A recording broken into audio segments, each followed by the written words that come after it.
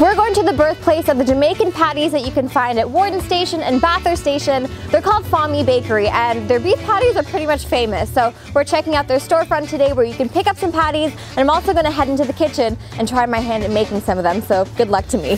You are only 21 years old and you're basically the owner of this beef patty empire. So how did that happen?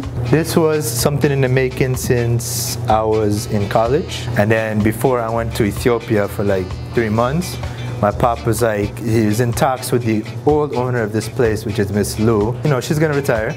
She was like, all right, I'm gonna let it off to my to, to him. And how many patties would you make here normally? Like in a day, if you could estimate. In a day, 3,000?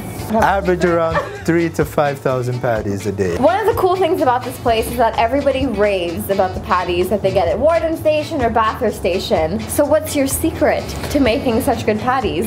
I mean, I don't want to be cheesy and be like blood, sweat, and tears, but that's all, all it really takes. And just keeping having a certain recipe mm-hmm. and sticking by it and not cutting corners with ingredients, you know? Mm-hmm. Jamaican scotch pepper, we try to get as much of it as we can. Everything here is made here. Mm. Everything here is made from scratch. That's how we keep it so good. Yeah. You know what I mean?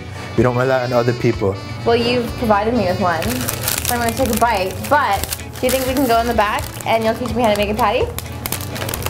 Uh, well, yeah, I will, but uh, if you're not good enough, then at the end of it, we'll give you a little bit of a, uh, of a report. I hope so too. We'll see about that. All right, let's go. All right, so first we're going to show you guys how we make the famous Bathurst and Warden Station beef patties right. here at Fahmee Bakery. Put some flour on top so the dough don't stick together. Most places you see making Jamaican patties, they do it like this. Well, the old school places anyway. You kind of push it back, right? Just slide it back a little bit. But I don't put too much pressure when I fold.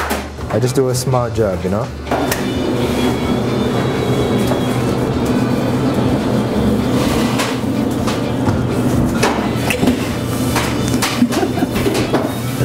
Almost. So the hardest part is cutting the patty. You have to be ac accurate.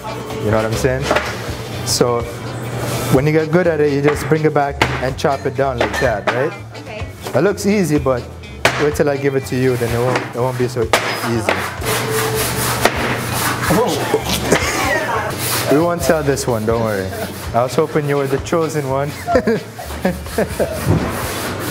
there we go. That's good, that's good. Next time give it a little bit of a head, right? When you get good, you just come and deal with the case. Wow. If I wanted a job here, what do I need to improve on? Well, you're not gonna get a job here. Okay. Uh, you need to laugh less. Okay. Need to work more. Okay. See a doctor for. My hand-eye coordination. I see some mild, mild tremors or something you need, you need to check to them about. All right, so I'll be back next week to practice, not laughing, focusing. Oh, you're not back next week. Okay. Okay, I make this clear. I'm just gonna leave. Thanks so much for everything. Bye. Get out of here.